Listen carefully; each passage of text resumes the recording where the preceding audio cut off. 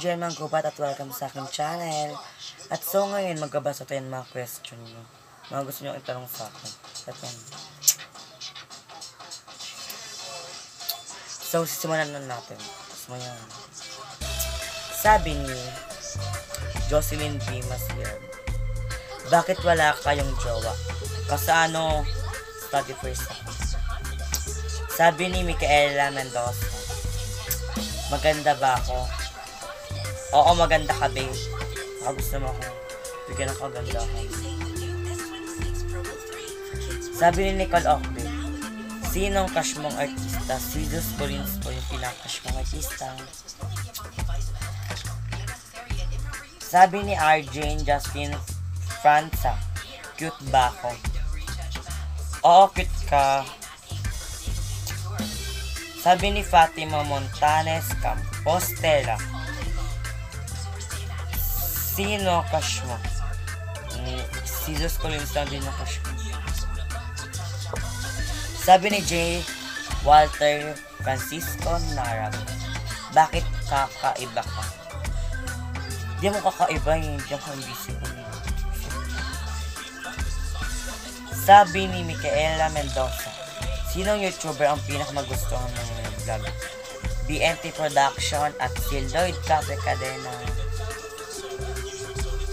Sabi ni Micaela Mendoza, Sino at anong inspirasyon mo ba't ka nag-vlog?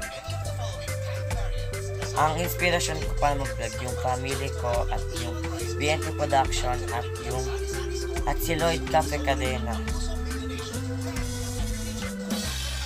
Kasi ano gusto ko rin makatulong sa pamilya.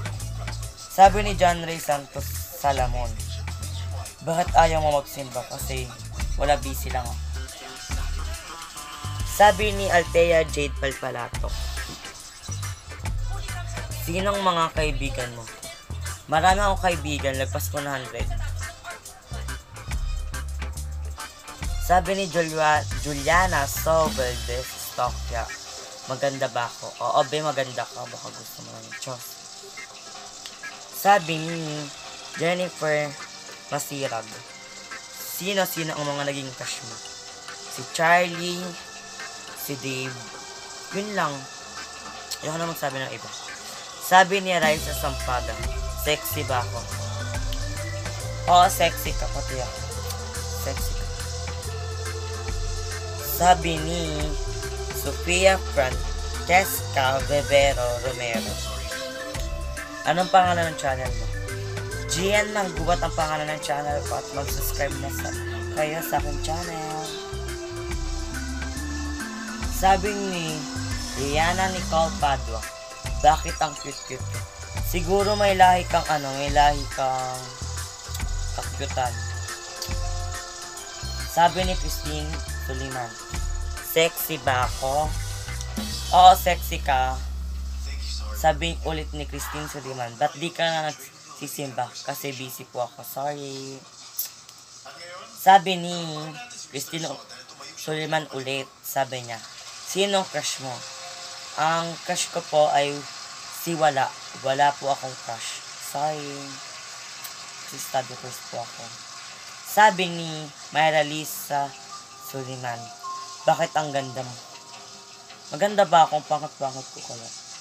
Sabi ni Akisha Michael Jesalva Flores, Bakit napakadaming judgmental sa Pilipinas?